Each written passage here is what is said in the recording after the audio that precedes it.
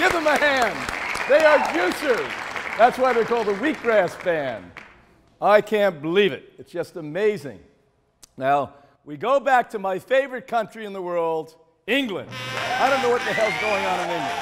These people are out of their mind. So, a British zoo found that they put a profanity parrot in. It's a PP.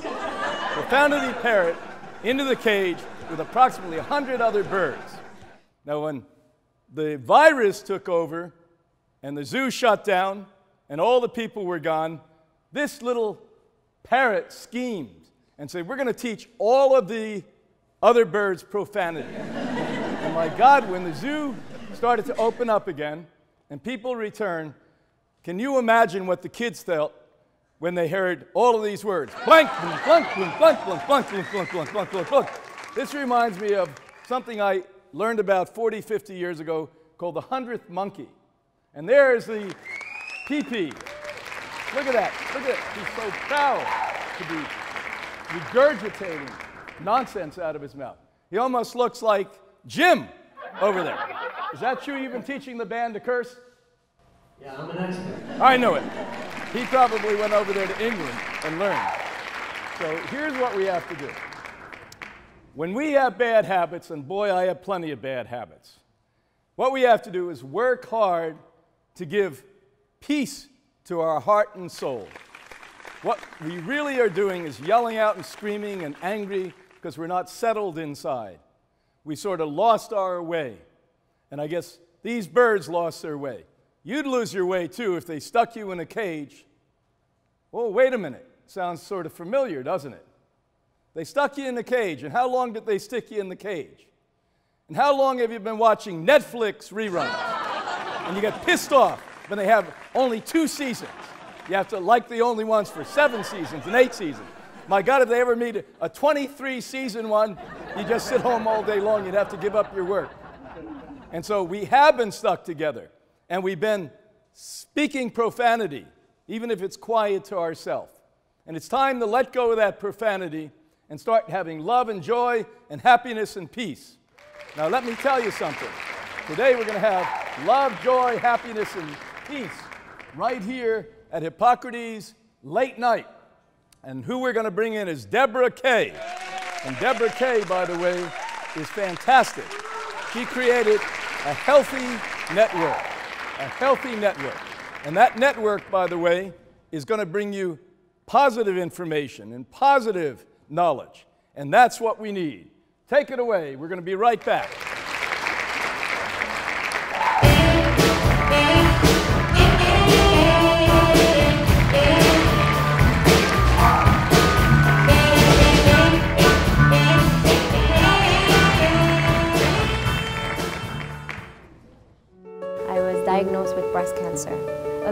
Special speaker mentioned about love. We love you back to health, and in doing so, we teach you how to love yourself. Mm-hmm. And what was really clear from the beginning, it wasn't just about the cancer. He treated us whole, emotional, physical, spiritual. It was the whole human. And that is what really, my heart exploded open. It was this space of love. That's the healing.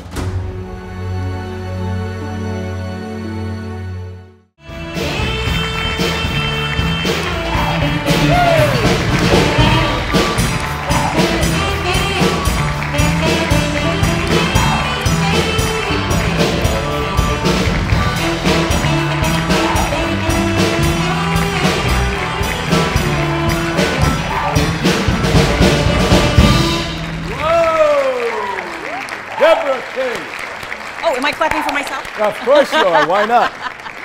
Debra. Yes. It's so nice to have you here. And we're going to play a game in just a minute. But first, I want to ask you why you left big network TV and created Well World TV. And so tell me what you're doing.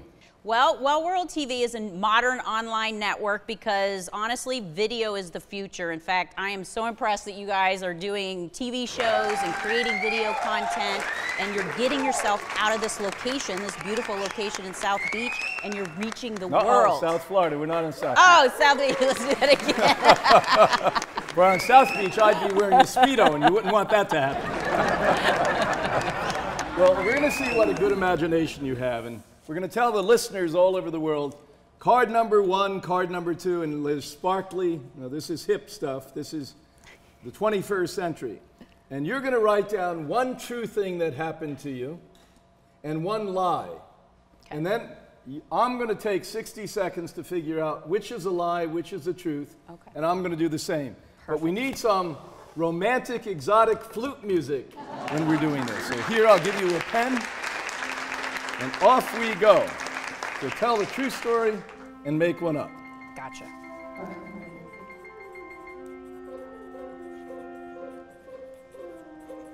Listen to that beautiful music. You doing well? I'm doing good. Doesn't look it.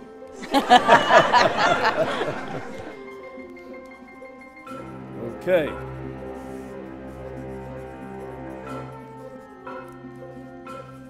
Let's keep going. Let's see who's going to win first. Oh, you won. All right, so here we go. So pick up card number one. I'm not going to look at yours. And you have 60 seconds to convince me that what you're telling me is true. And then I'm going to guess if it is or not. Okay. Go ahead. I was invited to speak at the largest East Coast Conference of the Navy and did a presentation in front of all the Master Chiefs and Command Master Chiefs, and my nickname was Wonder Woman. Well, I think that's true because I have a picture of you. Let me show everyone the picture of Wonder Woman there. Because this is the sexiest picture I've ever seen. So that was an easy one for me. Darn it! Look at her. Give her a hand. so, card number one. At one time, I ate 15 avocados. I think that's very quite possibly true. Oh my God, we're, we're actually tied at this point. Can you believe that? In one meal, one sitting. One meal, one sitting. By the way, I couldn't say or write the word avocado for several years. How did it impact you intestinally? Well, it was, it was very slippery. I can tell you. We're going to be right back. We're going to go to commercial now, and we're going to have the second group of questions.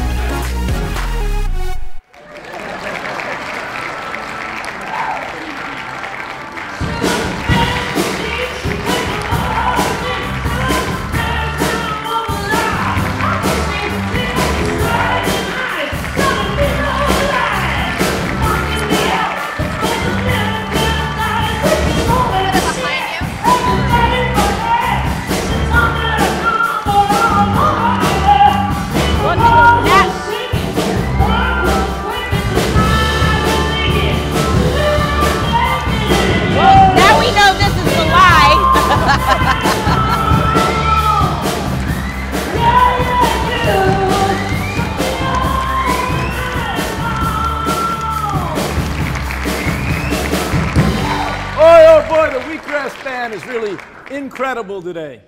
Oh, all of you are exciting today. What happened to all of you last night? I, I had an extra implant, and the rest is mystery. I, I was afraid you were going to say extramarital affair.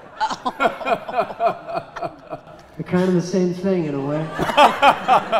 That's what some people think. The parents do, I can tell you that. So here we are with the number two question. So go ahead, you go first. In college, 1989, spring break, Daytona Beach, I met Jerry Garcia, and we went and partied. I went and partied with the Grateful Dead. Well, I would like that to be true because I like the Grateful Dead. But I say no. That's right. Hey! I'm a bad liar. I'm Two a to bad two. liar. All right, you get ready now. And here we go with the exotic music again because I've got. remem- Remember Johnny Carson? He put the thing to his head. I have to do that. My middle name is Harry. Brian Harry Clement. BHC. BHC. Mm. Just like, you know, I would say it's not Harry. Royal boys. Two to two. Is it Brian Joseph? So because we, no, no, it's Brian Robert. Oh, okay. Yeah. So because both of us are even, I have to get another kiss. Okay. Now, you're producing a lot of shows on Well World TV. yes. What is the most important endeavor that you're pursuing at this point? I would say just onboarding content creators, so empowering people that really want to share a positive message and creating a platform that they feel supported and inspired to create that content and get it out there. So right now I have about 18 hosts, what I call a channel hosts, that are starting to up level and really share their message. And so is this the point of going viral? I hope so. it's that's probably a little pre-viral, but at some point there's going to be a tipping point because I'll have enough great content out there that's going to really, uh, hopefully, create a well world. Well, people are happy to be pre-viral because we're certainly not pre-viral at this point. So I'm so happy that you're doing the work you are because the world has transformed. Yes. Uh, we've gone from very stoic ways to get information to multitude ways of getting information. And I think it's time we tame it and bring it back to some sanity. And it seems like that's what you're doing. So if you had the ability to run the world for one day, what would you tell people everywhere on the planet Earth? Look at the camera and let them know. I would tell you to take your energy and become the best version of yourself because when you're the best version of yourself, the world will become a better place. So let go of the drama, let go of all the chaos, let go of all the bad news, focus on yourself, evolve, and let's go change the world. That's a great, great, great message. So thanks so much. And before we leave, I have to show another picture of Wonder Woman. Because I'll tell you, that was the greatest picture. Thanks a lot, Thank Debra, you, for thank being you. with us today. Thank you. Be well. Good to see you. Till next time.